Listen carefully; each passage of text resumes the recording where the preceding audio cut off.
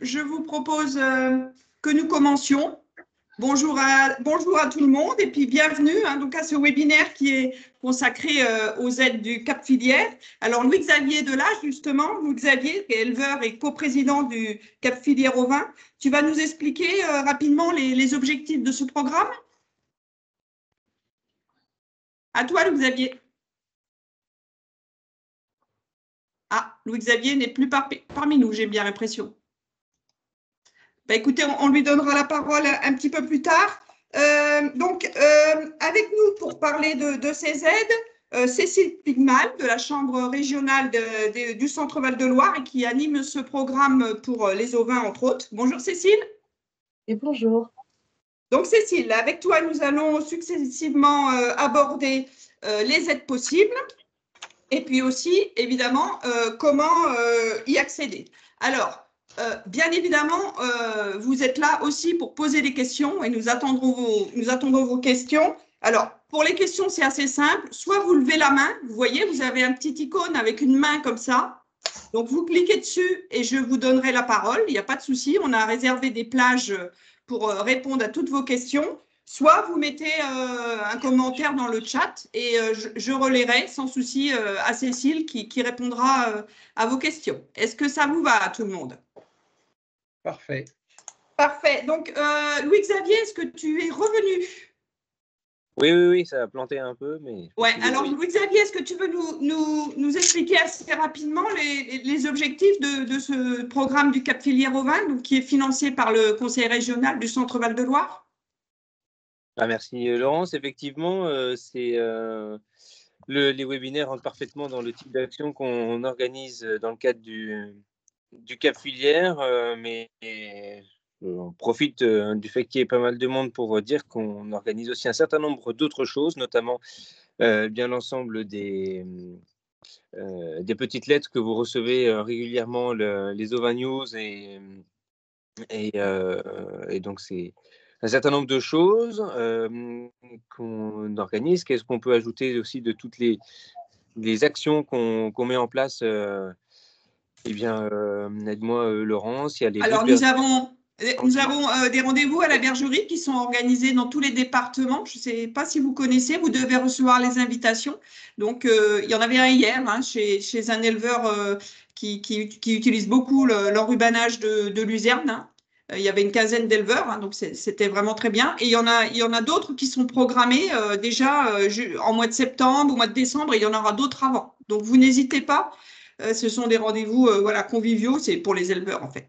Donc voilà, il y a un certain nombre de choses. Ben, un petit peu, un petit peu derrière que, que l'éleveur voit pas forcément, mais c'est surtout l'organisation avec l'ensemble des représentants de la filière, les techniciens de coopérative les techniciens de chambre, pour pouvoir euh, ben, proposer des programmes euh, à l'ensemble des, éleveurs, notamment effectivement les, investissements comme on va vous présenter aujourd'hui. Euh, mais il y a également tout un ensemble de, choses sur les, la transition bas carbone, sur les, un, tas d'éléments que vous pouvez ben, aborder avec les techniciens avec lesquels vous êtes en relation, que ce soit des techniciens de chambre ou des techniciens de coopérative, en fonction des situations de chacun. Très bien. Bah, écoutez, Cécile, euh, avec Cécile, on va rentrer dans le, dans le vif du sujet. Donc, Cécile, tu vas nous présenter euh, successivement toutes les aides, toutes les aides auxquelles vous avez droit. La présente déjà euh, bah, du coup, comme le disait Laurence, Cécile Picmel, je travaille à la Chambre d'agriculture régionale du Centre Val-de-Loire. Je suis co-animatrice pour les cap filières bovin-viande et ovin, d'où ma présence ici.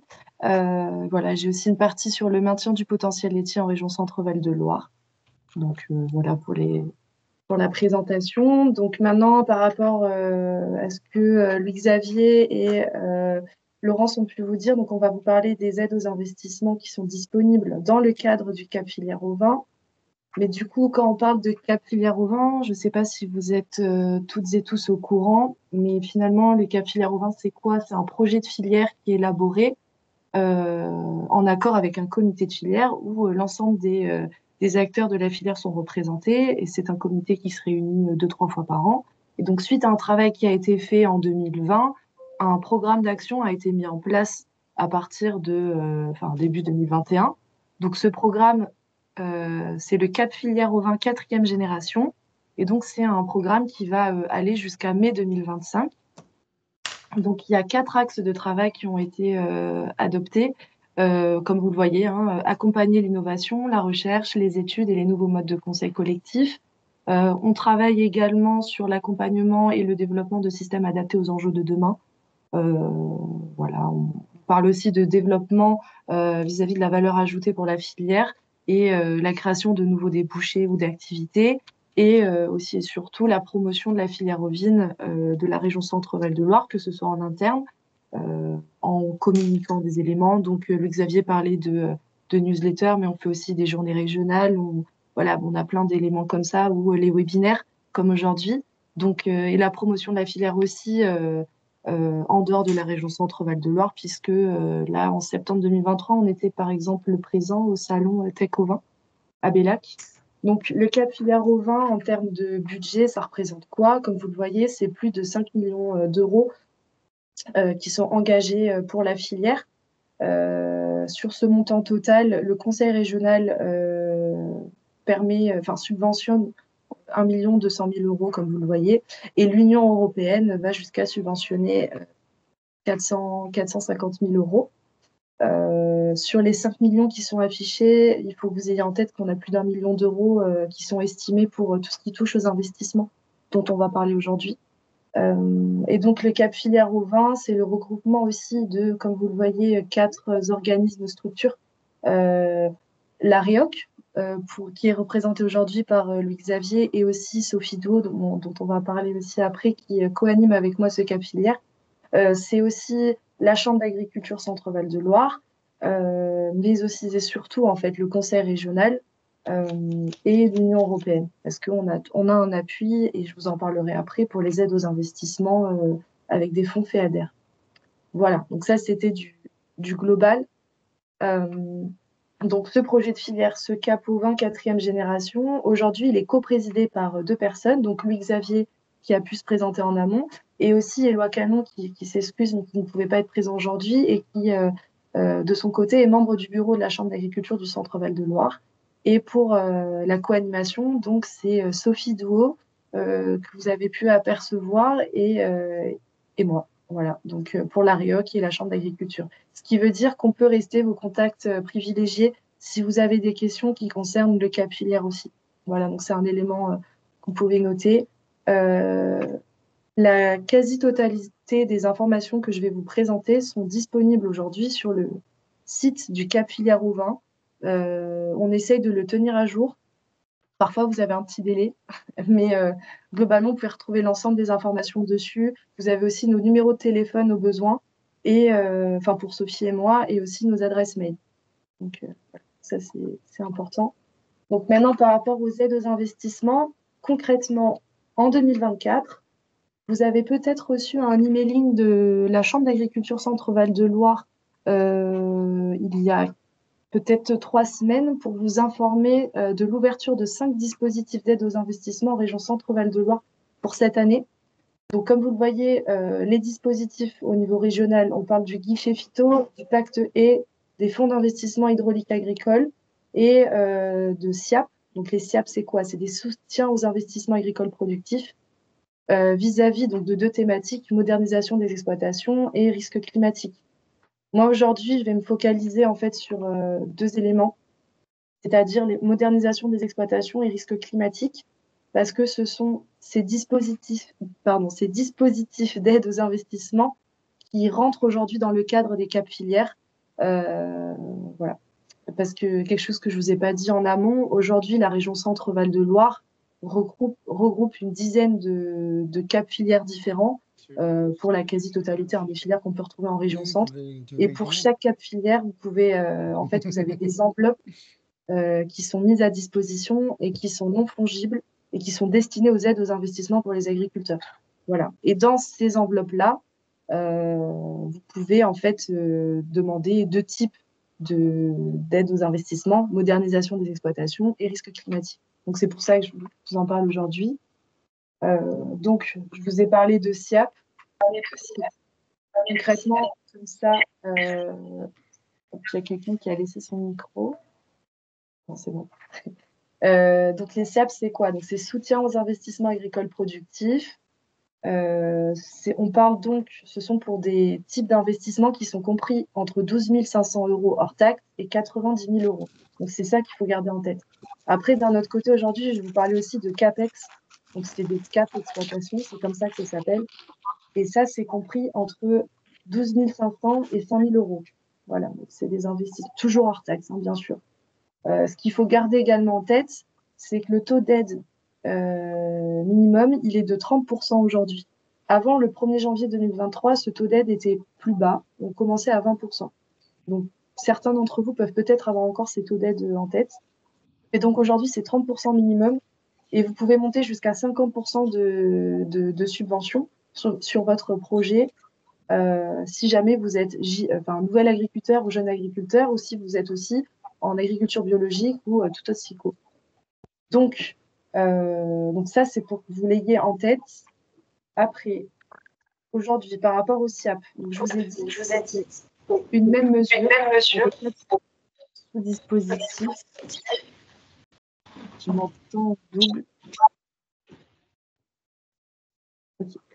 Euh, donc, vous pouvez avoir gestion des risques, gestion des ressources naturelles volées haut, modernisation bien-être animal et transformation à la ferme. Nous, ce qui nous intéresse, hein, je vous l'ai déjà dit, c'est gestion des risques et modernisation des exploitations agricoles, sachant qu'en 2024, le volet gestion des ressources naturelles, euh, qui est cofinancé par les agences de l'eau, ne sera pas ouvert. Mais vous, ce qui vous intéresse, donc pour gestion des risques, les cofinanceurs, c'est la région, donc le conseil régional, et parfois, en plus, on a les conseils départementaux qui peuvent ajouter des, fonds. Euh, et c'est la, même chose finalement pour euh, modernisation des exploitations agricoles. Pour le matériel, euh, pour gestion des risques, on va y revenir plus dans le détail après. Mais concrètement aujourd'hui, c'est tout ce qui va pouvoir toucher à la protection contre le gel, la grêle ou la sécheresse. Donc pour nous, en élevage, bâtiment de stockage de fourrage. Pour euh, modernisation des exploitations agricoles, la liste aujourd'hui, elle est mise à jour et vous pouvez la retrouver sur le site du Cap Filière au Vent. Ça s'appelle, euh, c'est un PDF que vous pouvez télécharger, au même endroit d'ailleurs qu'un un formulaire dont on va parler après. À retenir, euh, normalement, par exploitation, vous pouvez déposer un SIAP par sous-dispositif avec en plus un élément complémentaire, c'est que pour le volet modernisation des exploitations agricoles, vous pouvez, si vous le souhaitez, déposer un SIAP et un CAPEX. Donc, le CAPEX, pour rappel, ce sont les, dossiers qui sont compris entre 5 000 euh, euros et 12 500 euros hors taxe. On peut aussi l'amener d'une autre manière, c'est-à-dire que pour le cap filière au vin, euh, vous pouvez monter jusqu'à deux dossiers. Donc, c'est-à-dire un petit dossier CAPEX. Donc c'est celui-là, c'est seulement sur le volet modernisation des exploitations agricoles. Et vous pouvez le compléter ou pas, enfin, comme, vous, comme vous le souhaitez, avec un gros dossier pour des investissements qui sont plus lourds, qui sont donc compris entre 12 500 et 90 000 euros hors taxe. Voilà. Vous pouvez m'arrêter aussi au besoin parce que je, je, me doute que ces éléments peuvent être un petit peu euh, difficiles à appréhender. Euh, pour les CAPEX, c'est donc des dossiers qui sont, euh, qui sont transmis, enfin, que nous, on instruit au niveau de la Chambre d'agriculture euh, au fil de l'eau. Vous avez un, je vous le montrerai après, un calendrier pour des commissions permanentes euh, régionales où en fait chaque dossier est, est, validé ou non. Et ça, ça a lieu une fois par mois. Et par contre, l'information, c'est que vous ne devez pas engager enfin, vous ne devez pas vous être engagé financièrement avant la date de passage de votre dossier en commission permanente. Voilà, donc ça, c'est un élément important. Pour les, pour les SIAP, donc là, par contre, vous avez une grille de scoring, mais je vous le détaillerai après coup. Vous êtes éligible si vous avez un minimum de 100 points sur cette fameuse, fameuse pardon, grille de scoring. Et le dépôt des dossiers, cette fois-ci, ne se fait pas auprès de la Chambre d'agriculture, mais se fait directement sur euh, le site, enfin le portail des aides de la région Centre-Val de Loire pour, juste pour information, l'enveloppe globale aujourd'hui pour les aides aux, les aides aux investissements euh, pour les éleveurs ovins en région centre, euh, l'enveloppe du conseil régional est aujourd'hui à hauteur de 300, 315 000 euros. Euh, il nous reste une année et demie avant la fin du cap filière et nous avons, on peut encore consommer, enfin il reste 53% du budget initial. Donc, ce qui veut dire que la filière ovine, on n'est pas vraiment restreinte par, par le budget, ce qui est important puisque par exemple moi je le vois en bovin viande on n'a pas du tout les mêmes problématiques. Donc ce qui veut dire donc je, on vous encourage si vous avez besoin à euh, déposer des dossiers. Il y, y, a, des possibilités derrière. Maintenant si on rentre un peu plus ou sauf si vous avez des questions à ce niveau là déjà. Oui peut-être pour ceux qui ont des, des projets euh, donc vous, voyez il reste du budget à consommer hein, donc il faut surtout pas hésiter si vous avez des, des projets est-ce que avant que que Cécile ne rentre vraiment dans le, dans le détail de ce qui, de, de ce qui peut être financé. Est-ce que, est que vous avez des questions? N'hésitez pas, hein, surtout. Vous pouvez lever la main ou prenez la parole là, si vous le souhaitez. Ou est-ce que vous voulez attendre vraiment que Cécile vous liste euh, toutes les possibilités? Oui, vous préférez? Ah, Pas de souci. À Cécile? ok. Tant que je perds personne, ça me va. euh, du coup, maintenant, je vais vous parler euh, des SIAP. Donc, ce sont les, gros dossiers, hein. donc entre 12 500 euros et 90 000 euros hors taxe. Euh, donc, dans le cadre du cap filière au vin, donc je fais un zoom, c'est donc modernisation et risque climatique. Là, vous avez une capture d'écran d'un document qui a donc été euh, fait par la Chambre d'agriculture euh, pour présenter les cinq dispositifs et que vous avez potentiellement reçu déjà en emailing, ce que je vous disais il y a quelques semaines. Ces documents, euh, on va les remettre très prochainement sur le site du Capillaire au vin. Euh, comme ça, vous aurez, toutes les informations aussi. Hein. donc, ça sera des éléments en PDF que vous pourrez télécharger. Euh, donc, pour les SAB modernisation et risques climatiques, alors, le, dépôt se fait en ligne sur le portail des aides de la région Centre-Val de Loire. Vous pouvez facilement retrouver le lien. Néanmoins, le portail était censé ouvrir hier. Euh, suite à des freins euh, à, certains éléments, le portail n'est pas ouvert et ouvrira pour ces dispositifs modernisation et risques climatiques courant mai. Et donc, euh, à ce jour, je n'ai pas de date précise à vous communiquer. Mais donc, si vous avez déjà souhaité vous inscrire et déposer un dossier hier, c'est normal si vous n'avez pas pu le faire. Voilà. Euh, donc, pour les SERP modernisation, hein, on parle les, les investissements, c'est tout ce qui va toucher la pénibilité, la pénibilité pardon, l'autonomie des exploitations, la compétitivité, le bien-être animal, protection sanitaire, etc. Risque climatique. Euh, en 2023, seulement les dossiers pour des bâtiments de stockage de fourrage étaient possibles. Cette année, il y a plus d'éléments qui sont euh, possibles, mais donc aussi pour toucher plus de filières. Donc, vous avez, comme vous pouvez le voir, un planteuse à filet infrastructure paragrèle et euh, tour anti-gel, euh, dispositif d'aspersion, soufflerie chaud, fil chauffant, chaufferette. Voilà. Euh, par rapport aux critères d'éligibilité pour pouvoir déposer des dossiers. Pour la filière ovine, qu'est-ce que ça comprend? Alors là, je vous ai tout remis, hein, mais sans peut-être tout relisté. mais certains éléments, donc si vous êtes certifié BHVE, SICO, plante bleue, plante bleue, pardon, si vous êtes engagé dans un groupe dont le cœur de travail est la transition agroécologique, si euh, vous avez fait euh, euh, des CAP 2ER, par exemple, ou d'autres types de diagnostics. par contre, vous avez des éléments qui sont spécifiques à la filière ovine, et ça, on ne peut pas y déroger. C'est tout ce qui va concerner. Vous devez détenir un minimum en système au vin lait, minimum 20 brebis, et en système au vin viande, minimum 50 brebis. En plus de ça, il faut être accompagné euh, techniquement dans le cadre de la production vigne par une structure qui investit. Euh, donc, euh, COP, chambre, etc. Voilà. Par rapport, ensuite, si je vais un peu plus dans le détail, donc en fait, ça c'est ce que je vous ai dit, donc les catégories d'investissement qui sont éligibles. donc tout ce, qui touche à l'autonomie alimentaire et la sécurisation des stocks alimentaires tout ce qui va aussi concerner les bâtiments et les accès extérieurs. Donc bâtiments d'élevage, euh, gestion des effluents, bâtiments traite. Aussi ce qui va concerner l'amélioration et la sécurisation des conditions de travail, euh, les thématiques du, sanitaire et de la biosécurité et tout ce qui va toucher aussi l'économie d'énergie et d'eau. Donc pour rappel, c'est ce que je vous dis, il vaut peut-être mieux le répéter. Donc c'est le dépôt se fera sur euh, le site nos aides en ligne de la région Centre-Val de Loire, vous aurez accès à ce diaporama hein, qui sera mis aussi en ligne sur le site du Capillaire. Et dedans, vous avez des liens hypertextes. Donc, pourrez aussi retrouver facilement le, le, cheminement pour accéder au, portail. sur le site du Capillaire, on vous a mis la, liste euh, parce qu'il y a, quand même certaines lignes et en diapo, ça ne passait pas.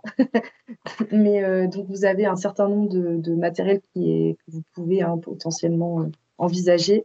Et vous avez tout sur, pareil, la fiche, la fiche des investissements qui est en format PDF sur le site. Voilà. Par contre, comme je vous le disais juste avant, les SIAP, pour déposer un dossier, c'est pas comme pour les CAPEX où c'est euh, vous avez tous les dossiers doivent remplir un certain nombre de, critères et en plus de ça, vous avez une grille de scoring qui est mise en place. Euh, cette grille de scoring pour le, les SIAP modernisation, c'est celle-ci. Euh, donc, il vous faut un minimum de 100 points. Et en fait, alors là, je pense que vous allez peut-être avoir mon... Bon, je ne peux pas le faire. Euh, ah si, pardon, c'est ici. Hop, pointeur. Donc là, normalement, vous voyez, mon pointeur. Comment marche cette grille euh, de scoring? En fait, par thématique, vous en avez trois. Vous devez donc choisir ce qui vous représente, enfin, ce qui euh, correspond le plus à, votre, à votre profil. Vous le voyez, hein, à minima, quand vous êtes en filière élevage, vous, avez, vous êtes quand même pour la pour euh, le thème 3, filière de production du ou des investissements présentés, vous êtes déjà un petit peu prioritaire puisque vous avez de base 60 points par rapport à d'autres agriculteurs qui pourraient déposer des dossiers. Euh, ensuite, vous avez nature du projet. Là, vous pouvez choisir entre ces euh, cinq catégories et porteur de projet également en fonction du nombre de points que vous avez et ben, enfin, du critère que vous remplissez, vous avez un nombre de points qui est affecté. Donc, on arrive facilement au 100 points. Voilà, c'est cet élément, mais vous pouvez du coup augmenter.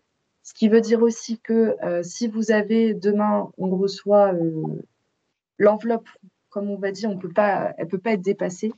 Euh, si demain, on a, il y a énormément de dossiers qui sont déposés, donc ce sont ceux qui ont le plus de points qui seront prioritaires. Voilà, ça se fera, d'où le fait aussi qu'il y a une grille de scoring qui a été mise en place. Hop. Et là, je ne pas. Ça. Euh, maintenant, par rapport au SIAP risque climatique. Donc, on est toujours sur les mêmes planchers hein, de dépenses éligibles. On est entre 12 500 et 90 000 euros hors taxe. Les investissements qui sont éligibles, ce sont ceux que j'ai pu vous, exposer tout à l'heure.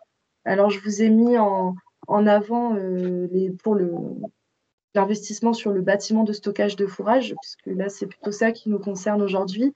Euh, sachant que vous avez, il y a un élément qu'il faut respecter hein, pour être éligible, euh, vous devez avoir la charpente plus le bardage en bois euh, qui est fait, sauf si la portée de votre bâtiment est supérieure à 15 mètres. Voilà. Et la date, ça va être la même. Dès qu'on l'aura, on vous la communiquera. Là, je n'ai pas plus d'éléments. Et après, il y a aussi une grille de scoring qui est mise en place, mais ce n'est pas la même. Voilà, elle est différente. Mais pareil, dans les documents qu'on vous transmettra, vous avez, vous avez de la, la, grille qui est, euh, qui, euh, qui est présentée. Donc, euh, par contre, là aussi, on est sur le même fonctionnement. Vous avez trois thèmes, hein, donc porteur de projet, nature du projet et filière de production du ou des investissements présentés. Donc, filière élevage, vous avez un minimum de 30 points. Et ensuite, donc, vous voyez, hein, donc pareil, on arrive, on arrive facilement au minimum, au plancher de sélection qui est de 100 points. Donc, euh, avant ça, moi j'ai une question. Est-ce que parmi nous, on a des, il y a des personnes qui ont déjà déposé un dossier SIAP en 2023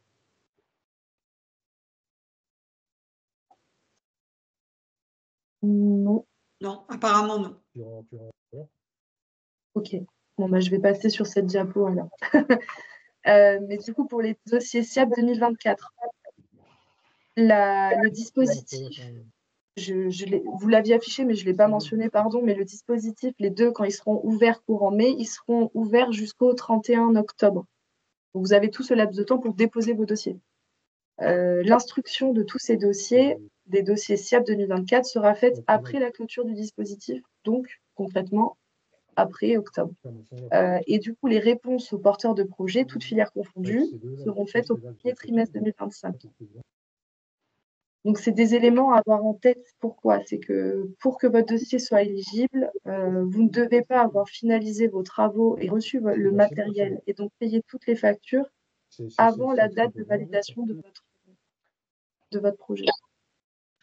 Voilà, donc c'est des éléments euh, importants. Euh, on peut peut-être s'arrêter là parce que l'autre partie, c'est pour les CAPEX. Donc, c'est les dossiers. Hmm. Donc, est-ce que est-ce que vous avez des questions là sur ces SIAP, donc euh, avec des niveaux d'investissement compris entre 12 500 et 90 000 Donc, deux, trois choses importantes. Il ne faut surtout pas euh, acheter les matériaux ni commencer les travaux avant, d'avoir l'accord, parce que sinon, ben voilà, ça ne le fera pas. Si vous êtes en brebis viande, il faut avoir au minimum 50 brebis et en brebis laitière, au minimum 20 brebis. Et ce qui est important, c'est que vous pouvez aussi vous faire accompagner, euh, Cécile, de votre technicien, évidemment, hein, qui est là pour vous aider à, remplir euh, les dossiers, évidemment. Euh, oui, Julie Beauvalet, à vous. Bonjour, merci pour toutes ces explications. Petite question, moi je suis en cours d'installation, donc effectivement j'ai bien noté les 50 brebis viandes. Euh, donc, en étant en cours d'installation, moi, j'ai une montée en puissance de cheptel. Donc, forcément, pour l'instant, je n'ai pas les 50 brebis viande. C'est, les 50, c'est vraiment à date de la demande ou si moi, je, montre sur mon plan euh, de progression que euh, sous 2-3 ans, j'atteins les 50, ça passe ou pas Aujourd'hui, c'est à la date de dépôt de votre, de votre dossier. OK. Parce que les investissements, c'est vrai qu'on les fait au démarrage. en filière eh j'ai souvent cette question qui revient. Hein, je ne vous cache pas. Euh, malheureusement, euh, en fait, on est obligé de suivre hein, ce qui a été validé en commission au niveau du conseil régional et les documents qui passent. Euh, du coup. Ouais, vous n'avez pas la possibilité d'avoir d'atteindre les 50 brebis assez rapidement? Bah, Pour 2026 peut-être, mais pas, pas là, là. Quoi. Enfin, là, je, suis en cours d'installation, donc. Euh, oui, vous vouliez vous équiper euh, avant bah, d'avoir euh, des brebis, quoi. Oui, je comprends. Bah, monter petit à petit, ouais, commencer les investissements et. Ok. Désolée. Merci. Est-ce qu'il y a d'autres questions sur avant qu'on parle des capex? Oui, Théodore, à toi. Vas-y, Théodore, faut que tu remettes ton micro, peut-être. Non, tu l'as. On t'entend pas, Théodore.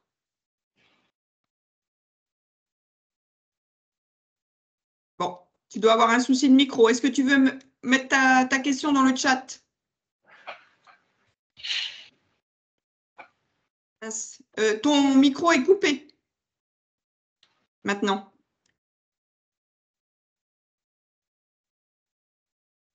Ça ne marche pas. On, ah. attend ta question dans le chat, Théodore. Pas de souci. Hein. Tu la mets, on la, on, la pose dès, que tu l'as mise. Euh, oui, ton micro. Euh, est-ce que est-ce qu'il y a d'autres questions? Alors dans la conversation, il y a quelqu'un qui a mis quelque chose? Pour le moment, non. Bon, ben, vous n'hésitez pas vraiment à poser des questions. Vous voyez qu'il faut, il faut vraiment, euh, si vous en avez besoin, je suis sûre que c'est le cas pour un bon nombre d'entre vous, essayer de bénéficier de ces aides hein, qui, sont, qui peuvent quand même être de nature à, à vous aider en fait. D'ailleurs, je euh. corrige quelque chose que j'ai pu dire, hein, parce que vous, vous, en doutez, on a pas mal d'informations. Euh, pour les SIAP, ce qui fait la condition pour que vos dépenses soient euh, éligibles, il faut que l'opération ne soit pas terminée à la date du dépôt de votre, de votre demande d'aide. Mais par contre, j'attire votre attention parce que si effectivement vous déposez un dossier, on va mettre un cas pratique. Hein, en juin 2024. Vous avez une réponse en fin d'année. Euh, mais vous, vous avez fait le pari de finalement faire les, travaux et les investissements dont vous aviez besoin. C'est-à-dire au moment du dépôt, tout, était, est bon. Par contre, au moment où vous avez la réponse, finalement, votre dossier n'est pas pris pour l'année 2024, mais vous êtes éligible pour le repasser en 2025. Si entre-temps, vous avez fait les travaux, etc., euh, et que vous avez fini hein, vos investissements, ben, vous ne pourrez plus redéposer un dossier. Donc, euh, ce qui est important, c'est qu'il faut, oui, il faut même pas commander, en fait, est-ce que c'est ça, Cécile? Il faut pas commander les, équipements ni commencer les travaux avant d'avoir la réponse. Parce que si, bah, idéalement, c'est ça, mais aujourd'hui, effectivement, sur pas mal de filières, on... enfin, c'est pas possible. Mais dans, bah tous les cas, par exemple, vous, vous faites, vous avez déposé un dossier SIAP pour moderniser votre bâtiment d'élevage. Vous voulez faire des travaux, vous construire un bâtiment. Euh, il ne faut pas que vous ayez euh, finalement, vous pouvez déposer votre dossier tant que le, projet n'est pas finalisé, que vous n'avez pas construit tout votre bâtiment et reçu tout le matériel. En gros, c'est ça. Euh, par contre, vous avez le risque de, quand vous redéposez, enfin, en fait, vous avez le risque quand c'est vous commandez un, un outil lambda, mais il ne faut pas que vous l'ayez reçu avant la date du dépôt de votre dossier. Du dépôt du dossier ou de la ou de l'accord de dépôt, du, dépôt, du, dépôt, du dépôt. Sachant que l'accord arrive tardivement. D'accord, c'est le dépôt qui compte. D'accord. Alors, deux questions de Théodore, du coup. Peut-on investir pour la rénovation de la toiture de la bergerie et, seulement de la toiture? C'est déjà pas mal. Mm. Oui? Bah, Je pense que oui. Euh, Théodore, euh, Cécile te, le confirmera a posteriori si tu veux, de façon sûre, peut-être. Hein. Euh, autre question, Cécile, est-ce que tu peux réafficher la liste des matériels éligibles? Je suis pas. Théodore souhaite savoir si les, les, matériels de production de fourrage y figurent. C'est-à-dire, je suppose, la faucheuse, l'endaineur, etc. Théodore, c'est ça? Et il demande, Théodore, si les, les matériels d'occasion sont également éligibles de tout type. Alors, vas-y, les matériels d'occasion? Matériels d'occasion, non. Non? Bon. Et euh, donc, c'est effectivement pour la fenaison. Donc là, ce serait pour. Euh, est-ce que le matériel neuf de fenaison euh, est éligible? Hmm. Pour moi, non. Mais je lui renverrai, un, je renverrai le document. Parce que ce que je veux vous montrer, c'est cet élément-là. Attendez, parce que là, je n'ai pas partagé le bon. On le voit, mais il est tout petit, Cécile. Ouais. Je prends plus gros et je zoome. En fait, ça, c'est la fiche dont je vous parlais qui est disponible sur le site du Cap Filière. Et donc, ça reprend en fait un petit peu tout ce qu'on a pu se dire jusqu'à maintenant, mais dit, enfin, formulé autrement et présenté autrement. Et euh, dans le lot, vous avez, donc, je, vous avez des éléments. Euh, vous avez les critères d'éligibilité, les conditions d'éligibilité qui sont bien repris, euh, bien détaillés. Et vous avez donc ce qui va vous intéresser, vous, mais qui est difficile à afficher hein, sur un diapo, c'est euh, les investissements qui sont éligibles. Mais donc, euh, même dans le CAPEX, par exemple, le matériel de fenaison n'est pas éligible. Je vais reprendre, mais pour moi. Ouais, ok. Bon, bah, tu faut, ouais, faut être sûr, quoi. Mm. Sachant que, pareil, là aussi, hein, vous avez des caps filières qui sont donc là, on parle de. Aujourd'hui, on a un rendez-vous là pour la filière ovine. Mais toujours est-il que vous avez des cap filières qui existent. Vous avez le cap filière grande culture qui existe. Vous avez le cap filière euh, légumes qui existe. Le cap filière semences qui existe. Vous en avez d'autres. Et du coup, en fonction, vous avez aussi d'autres types d'investissements qui sont possibles. Enfin, c'est le même principe. C'est juste pas la même, la même, euh, la même liste d'investissements éligibles. D'accord. Si par exemple, vous n'avez pas en filière ovine, ben, si vous avez, euh, voilà, vous pouvez justifier des critères d'éligibilité, enfin des conditions, pardon, pour un autre capillaire, vous pouvez également euh, déposer un dossier dans une autre filière. Mm. Oui, à condition d'avoir euh, d'être mix, quoi. Ouais. mais voilà, mais je, je, donne l'info parce que parfois. Oui, tout à fait. Ça, tout a permis dans certains cas avec des, des, éleveurs au téléphone de, de, débloquer des situations. Voilà. Tout à fait. Bon, bah, Théodore, on, Cécile répondra à tes questions. Je vous propose qu'on continue et euh, avec le CAPEX. Et n'hésitez pas à, remettre des choses dans le chat. N'hésitez pas. Ah si vous avez des questions, même très, très, très, très, personnelles sur ce que vous avez envie de faire, il n'y a aucun souci. Hein. On est là pour ça. Alors, attendez que je me remette dessus. Euh, ok. Donc, les CAPEX ça va être un peu plus court parce que cette fois-ci, donc euh, les CAPEX, ça concerne, pour rappel, euh, ça concerne les, la partie modernisation des exploitations. Concrètement, les critères d'éligibilité, ce sont les mêmes que pour les SIAP, enfin que pour les SIAP de ce qu'on vous a montré euh, en amont. C'est la même chose. donc vous avez bah, la liste ici, et, ça hein, du coup pour la filière ovine le, le minimum hein, de, de, de têtes dans le cheptel, hein, donc 20 brebis minimum en, en ovin lait et en ovin viande 50 brebis minimum. Et, je sais que c'est un élément qui, qui parfois est bloquant, surtout quand, on s'installe. et là aussi être accompagné techniquement dans le cadre de, la, production ovine. Donc, les CAPEX, là, je vous l'ai remis. Donc, ce sont des dépenses qui sont éligibles entre 5 000 euros et 12 500 euros hors taxe. Là, cette fois-ci, c'est un dossier papier que vous devez faire et qui est à envoyer pour préinstruction pardon, chez nous, à la Chambre d'agriculture régionale à Orléans. Ce dossier papier, euh, vous pouvez l'avoir, vous l'avez sur le site du Cap Filière, au même endroit que là où vous pouvez télécharger la, fiche dont on, a parlé juste avant avec Laurence. Euh, donc les catégories d'investissement, ce sont les mêmes, ce sont les mêmes pardon, euh, que pour le SIAP modernisation. Et donc là, un élément qui peut vous intéresser. Donc là, ce sont les prochaines dates limites de réception des dossiers chez nous, à la Chambre régionale d'agriculture, euh, pour préinstruction des dossiers. Voilà, donc c'est en format papier, ou alors vous pouvez aussi nous les envoyer en, PDF hein, en fonction. Euh, on reste disponible avec ma collègue Cécile Doucet qui fait la préinstruction. Je pourrais vous renvoyer au besoin son contact. Là, c'est vrai que j'ai mis que le mien après.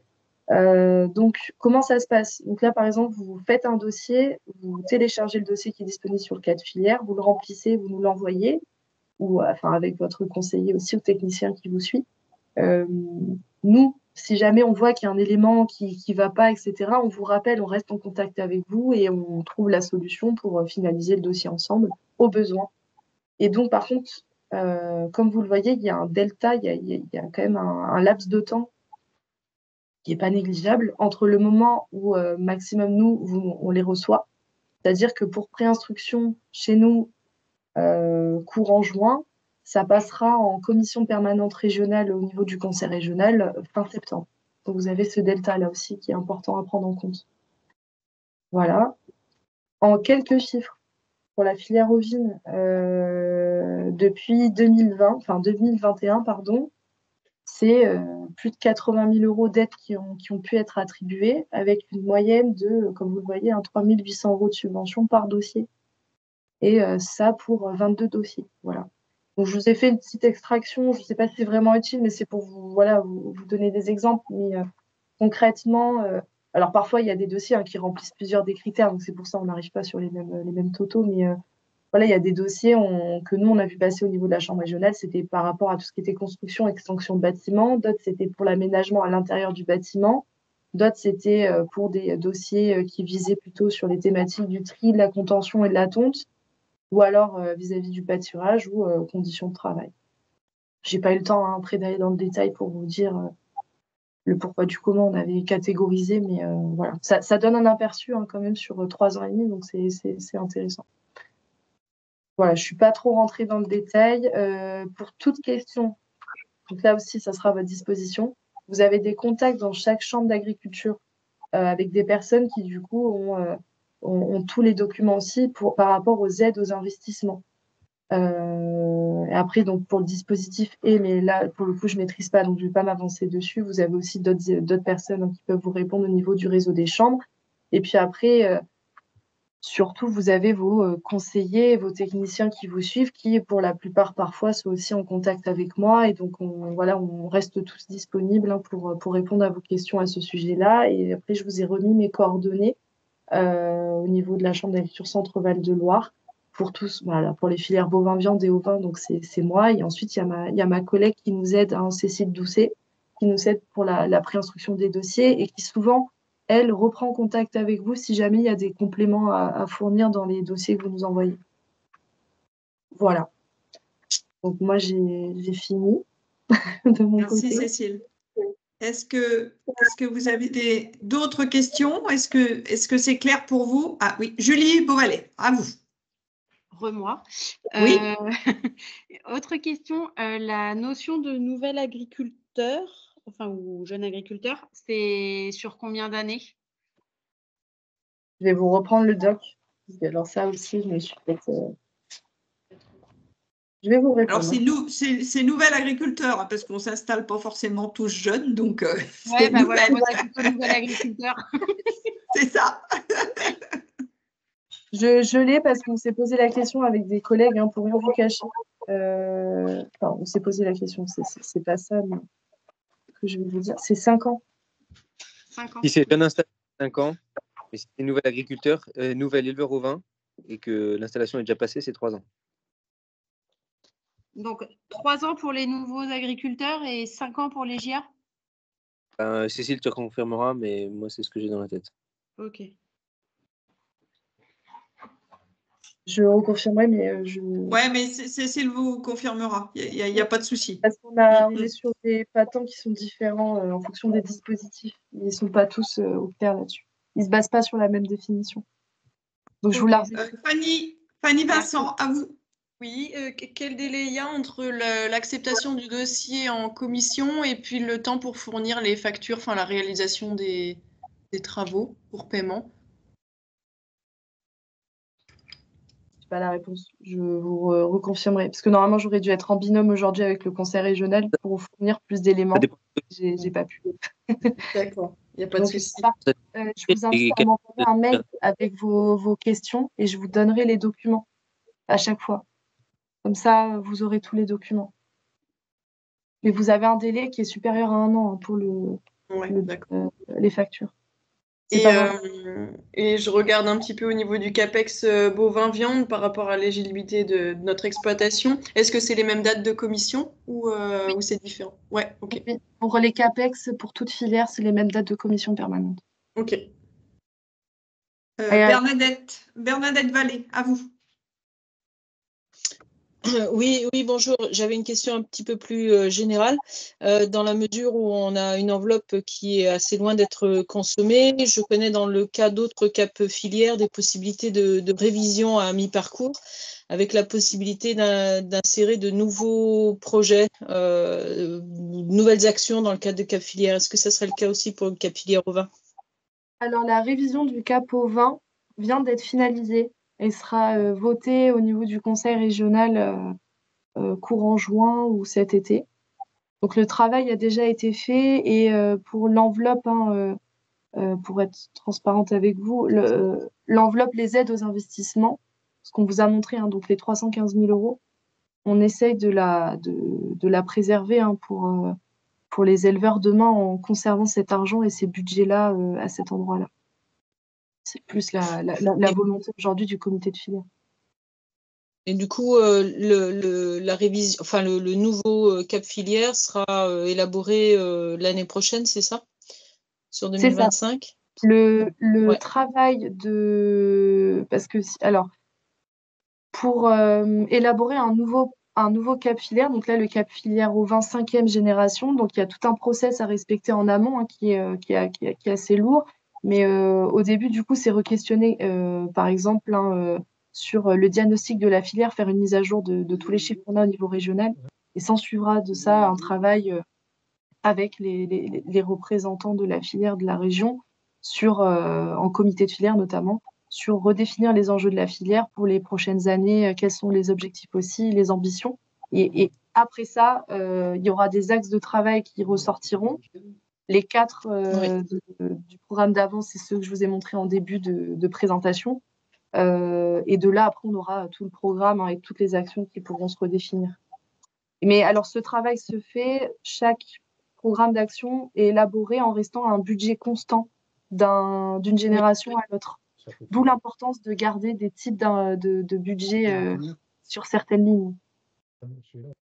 Oui, bien sûr. Oui, non, je, je connais, je Ah non, connaissais bien les, les des, des cap filières. Ouais. Pas de. Euh, et du coup, dans la, dans la révision à mi-parcours, est-ce qu'il y a de nouvelles choses qui sont apparues ou c'est tout, tout ce que vous avez présenté est à jour là? Bah, Cécile, je vais peut-être prendre la parole euh, dans, le, les choses qui sont prises en compte. Il n'y a pas d'évolution euh, sensible entre le premier et le deuxième, dans la mesure où on a eu très peu de problématiques de financement dans le la première partie du CAP. Euh, on a surtout une problématique de non-consommation, donc surtout n'hésitez pas à, profiter de ces, de ces de ces aides, surtout le, dossier CAPEX qui est particulièrement léger, notamment cette mise à jour là, depuis, depuis cette année. il y a beaucoup moins de documents qui sont nécessaires. Donc profitez-en et on a eu très peu de, situations dans lesquelles il y avait des, éléments qui ne sont pas pris en charge. Le seul élément sur lequel on, on s'est battu, on se bat encore, on sait qu'on n'arrivera pas à obtenir de résultats, mais on va baisser la garde, c'est au niveau de la prise en charge des chiens de protection, des chiens de troupeau, pardon, pour une raison très très simple, enfin très très très stupide mais simple, que et, ne peut pas être prise en charge. Donc, euh, parce que la région ne peut pas financer l'animaux vivant. Donc, euh, ne peut pas. Donc, c'est le seul élément euh, qui nous a aujourd'hui posé problématique. Alors, je ne sais pas si Bernadette, vous avez des, une question particulière de quelque chose que vous n'arrivez pas à faire passer dans le CAP ou dans, enfin, dans un CAPEX. C'est que je m'interroge sur la, la, faible, la faible consommation de, de l'enveloppe et pour connaître la situation dans d'autres CAP filières. Euh, souvent, il s'agit de réorienter euh, les, financements possibles pour que l'enveloppe soit un petit peu plus consommée. Donc, euh, souvent, on a un problème d'adéquation de, l'enveloppe par rapport aux problématiques de terrain et je me demandais si c'était peut-être une des raisons. Voilà, c'est tout. Donc, en l'occurrence, ce n'est pas le cas. on n'a pas eu de, de remontée à ce sujet-là, mais c'est plus un problème de communication je, pense que du coup, euh, ça vaudrait peut-être la peine de réfléchir un petit peu aussi à l'occasion sur euh, une valorisation du, produit euh, laine que je vois très peu, très peu apparaître comme étant quelque chose de finançable. Alors, la valorisation du projet du produit laine, c'est fait partie des actions du Cap Filière. Donc, c'est comme ça ne rentre pas dans un projet euh, d'investissement au sein d'une et même exploitation. effectivement, on n'en parle pas ce matin, mais ça fait pleinement partie du Cap Filière et nous avons une action qui est dédiée à cela. voilà, vous pouvez en trouver des infos sur du Cap. on a mobilisé de l'argent, on remobilise encore le Cap. C'est bon je ne me suis pas trompé qu'à chaque fois, c'est zéro. Alors, juste pour compléter ce qu'a pu dire euh, Louis-Xavier, pour le moment, la révision du cap filaire avec des modifications ah pour certaines actions, euh, vous ne pouvez pas encore la voir sur le site du cap filaire. On ne diffuse pas l'évolution tant que ça n'a pas pu être euh, validé hein, au niveau du conseil régional et voté lors de leur commission. Voilà. Donc, on, vous mettra tous les documents à jour quand on aura eu ce retour. Ok, merci beaucoup. Bon, bah, écoutez, je vois qu'il n'y a, plus de questions. Avant de laisser. Ah, Théodore. Euh, oui, Théodore. Euh, attendez, il y a, Louis-Xavier qui est sorti. Alors, Théodore.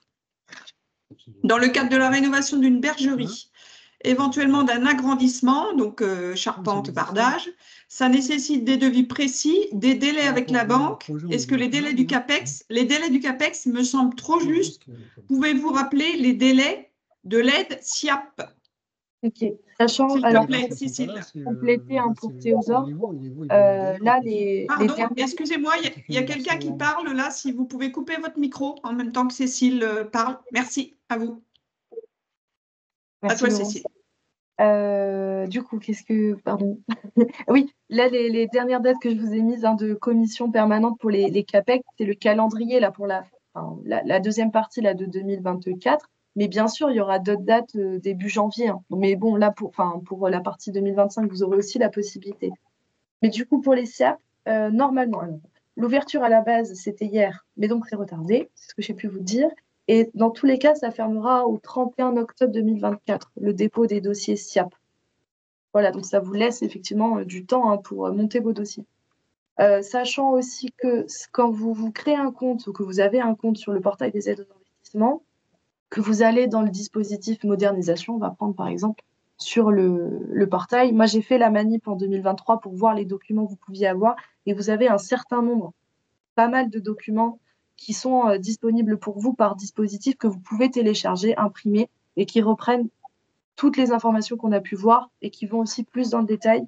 Euh, voilà. Donc, je vous, je vous, le redis là, vous aurez aussi des documents directement disponibles sur le site du conseil régional, au besoin, si jamais. Fanny, Vincent, vous avez levé la main? Non, non, c'était peut-être tout à l'heure. Ah, elle n'a pas été rebaissée. C'est pas de souci. Bon, est-ce que vous avez d'autres questions avant que, que Louis-Xavier euh, fasse une petite, euh, un petit mot de, conclusion.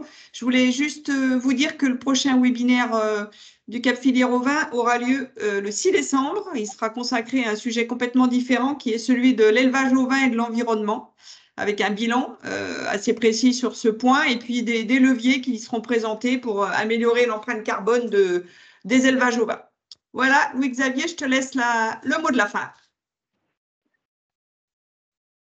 On t'entend pas, Louis-Xavier.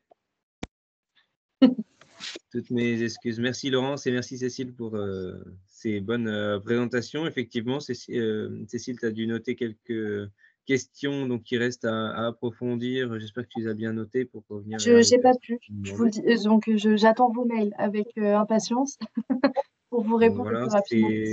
Sachez que nous faisons tout pour consommer cette enveloppe qui nous reste avant la fin du CAP parce que c'est ce qui sera déterminant de l'organisation du prochain, euh, enfin de la mobilisation du, de l'enveloppe du prochain, du prochain cap.